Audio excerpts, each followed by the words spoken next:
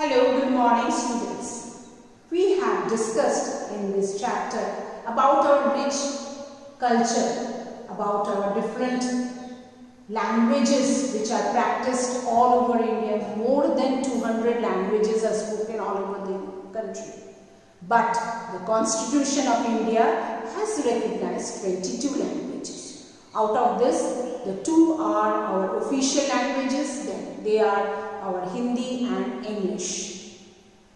Children, we have different type of uh, dresses worn by men and women all over the country.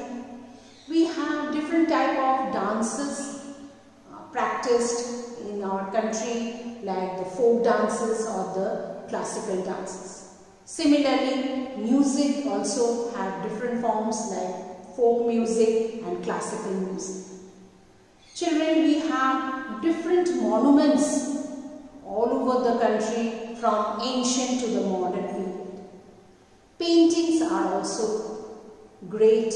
We have the cave paintings from uh, the ancient period to the modern painting of Madhubani painting.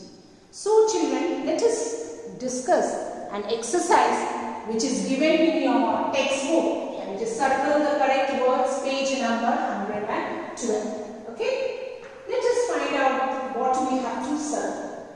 Hindi or Telugu is the official language of India. We all know that uh, the official language, our language is Hindi, but English is also considered as official language. So there are two official languages uh, in India that is Hindi and English. Here they have mentioned Hindi, so we will circle Hindi, not Telugu. Telugu is uh, actually the language spoken in English. Okay, coming to second one, women or men wear turbans. If I show you the picture, already you have seen this and you know that. Who are the ones who wear turbans, children? As you can see, this man is wearing a turban. So it is actually man or men. Men wear turban. Women generally they cover their head with sari or hijab. Okay.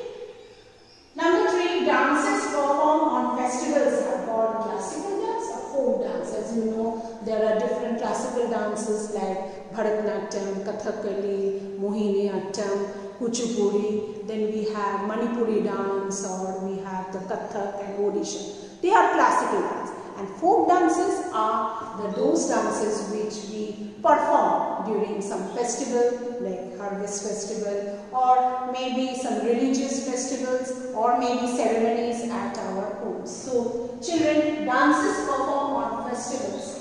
Okay, it can be any type of festival. It can be uh, some religious festival or harvest or any other type of festival are called folk dances.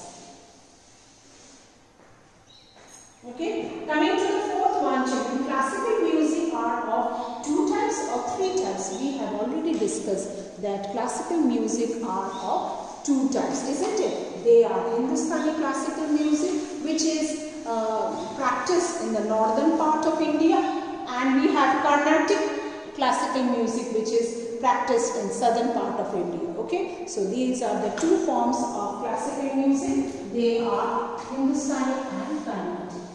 Not three. Coming to the fifth one, children, the stupa of Sanchi was built by Emperor Ashoka or.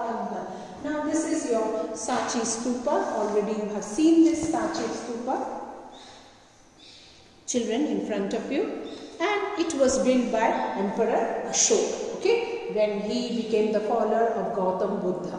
Okay. And as you know, Akbar's great, uh, there are many and out of them we have discussed about Fatehpur Sikri, isn't it? So this is Akbar's one. Okay, Ashoka built this stupa of Sanchi. So it is Emperor Ashoka. Okay, whom we will study in the higher classes. He was the great ruler, one of the greatest ruler of India, and he was uh, a Mauryan ruler. The, their dynasty belonged to Mauryan dynasty. Okay, so these are your answers, children. The first one, Hindi is the official language of India. Number two, men wear turbans. Number three, dances performed on festival are called folk dances. Number four, classical music is of uh, three types or two types. It is two types. Okay, the answer is two types and wheel back emperor show. Okay, so these are your answers. Please do it in your textbook and it is in page number 102. Thank you.